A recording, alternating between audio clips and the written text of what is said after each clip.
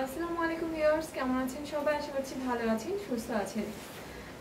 আজকে আমি আপনাদের সাথে যে বিষয়টি নিয়ে কথা বলব, যে কান্ট্রিটি নিয়ে কথা বলব, সেটার সেশনটা হচ্ছে সামনে ফেব্রুয়ারি সেশন দ্যাটস কিন্তু এখন অ্যাপ্লিকেশন প্রসেসগুলো চলতেছে বা অ্যাপ্লিকেশন করার ডেটটা চলতেছে। সো আমি Europe Bangla educational consultant private limited থেকে সিনিয়র এডুকেশন কাউন্সিলর লিনা আজকে আপনাদের সাথে কথা বলতে যে কান্ট্রিটা নিয়ে চাচ্ছিলাম, সেটা হচ্ছে স্পেন স্পেনের ব্যাপারে কথা আমি এর আগেও বলেছি তারপর আবার বলছি এর জন্য যে ডেটটা যেহেতু এখন চলতেছে বা কিছুদিন পরে আপনার ডেডলাইনটা শেষ হয়ে যাবে। তো সেক্ষেত্রে যারা এখনও ডিসিশন নিতে পারছেন না বা কি করবেন এখনও আহ, সিদ্ধান্তহীনতায় ভুগছেন তাদের জন্য মূলত এই ভিডিওটা সো যারা অ্যাপ্লাই করতে চাচ্ছেন এখনও কনফিউজ আছেন যে আপনি কোন কান্ট্রিতে অ্যাপ্লাই করতে পারছেন বা আপনার রেজাল্ট কোন কান্ট্রির সাথে ম্যাচ করছে। কোন কান্ট্রির অ্যাপ্লিকেশন রিকোয়ারমেন্টের সাথে আপনার রেজাল্টগুলো ম্যাচ করছে।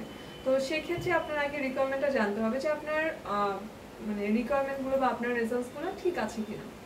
সেক্ষেত্রে যদি আপনি স্পেনে অ্যাপ্লাই করতে চান লাইক হচ্ছে আপনি ব্যাচেলার জন্য অ্যাপ্লাই করতে চাচ্ছেন বা আপনি এখন অলরেডি ব্যাচেলারে আছেন বা এক দুই বছর করছেন বাট কন্টিনিউ এখন করতে চাচ্ছেন না, তারাও যদি আপনি আবার নতুন করে ব্যাচেলার স্টার্ট করতে চান তারা কিন্তু এই অপরচুনিটিটা ক্যাচ করতে পারছেন।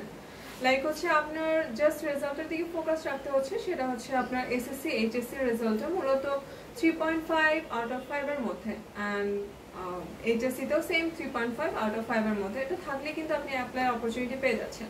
দুটো মিলে আউট অফ টেনের মধ্যে যদি সেভেন থাকে, সেক্ষেত্রে আপনি অ্যাপ্লাই করতে পারবেন। তবে অবশ্যই জিপিএটা থ্রির নিচে যাতে না থাকে।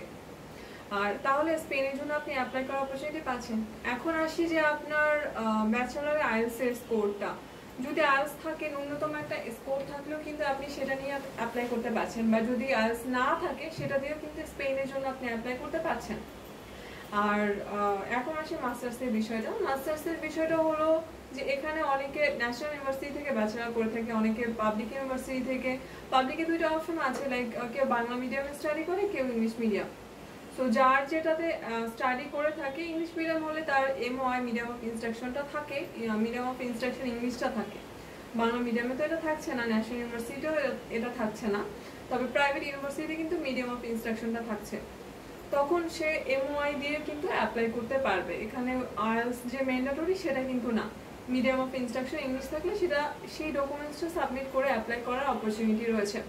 এখন যারা অ্যাপ্লাই করতে চাচ্ছেন, তাদের জন্য কি কি ডকুমেন্টস দরকার হতে পারে?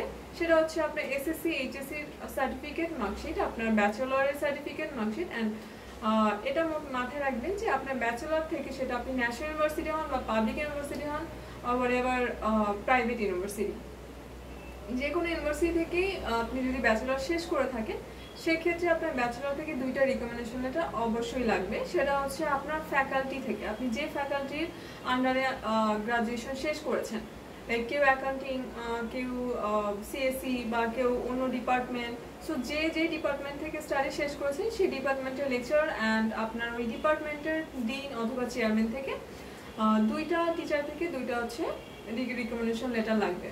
সো দুইটা রিকমেন্ডেশন লেটার লাগবে। আর যদি মিডিয়াম অফ ইনস্ট্রাকশন ইংলিশ থাকে, সেক্ষেত্রে আপনি মিডিয়াম অফ ইনস্ট্রাকশনটা আলাদাভাবে নিতে পারছেন। তো তিনটা ডকুমেন্টস আপনার লাগছে আপনার ইউনিভার্সিটি থেকে।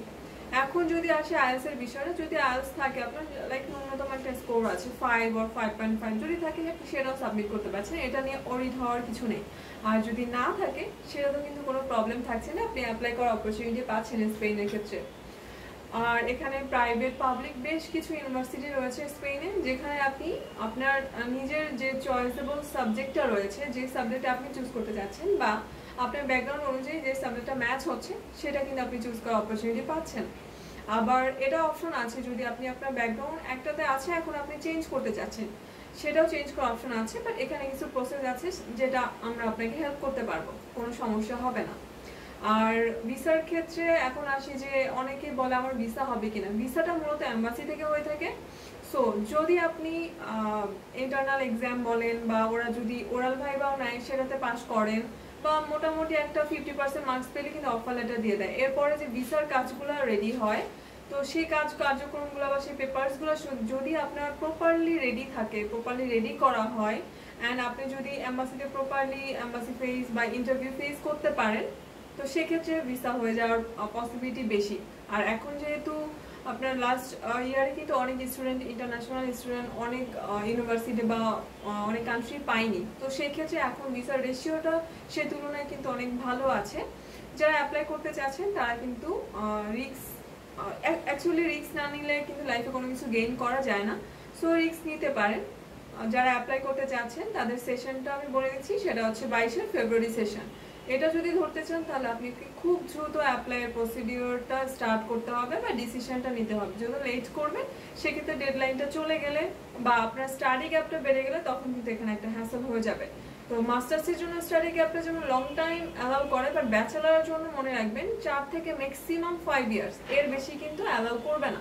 সো ফাইভ ইয়ার্স পর্যন্ত না গেলে তিন থেকে চার বছর পর্যন্ত থাকলে কিন্তু অ্যানাফ যে আপনি এটাও ওদেরকে ডিসক্রাইব করে হচ্ছে অ্যালাউ করা যায় যে আমাকে এই প্রবলেমের কারণে আমি হচ্ছে স্টাডি গ্যাপ ছিল আমার, এখন আমি আবার কন্টিনিউ করতে চাচ্ছি। সো এখানে বেশ কিছু ওয়ে আছে যেগুলো দেখিয়ে এটা কিন্তু অ্যাপ্লিকেশন কনফার্ম করা যায়। তো যারা অ্যাপ্লাই করতে চাচ্ছেন, তারা দেরি না করে আমাদের সাথে কন্ট্যাক্ট করতে পারেন বা কোনো ডিটেলস আরও কিছু জানা থাকলে সেক্ষেত্রে আমাদের সাথে কন্ট্যাক্ট নাম্বারে কন্ট্যাক্ট করতে পারেন। আমাদের হোয়াটসঅ্যাপ নাম্বারগুলো দেওয়া থাকছে ইউটিউবের ডিসক্রিপশন বক্সে অ্যান্ড অফিসে অ্যাড্রেসও দেওয়া থাকবে। আপনারা সরাসরি অফিস ভিজিট করতে পারছেন।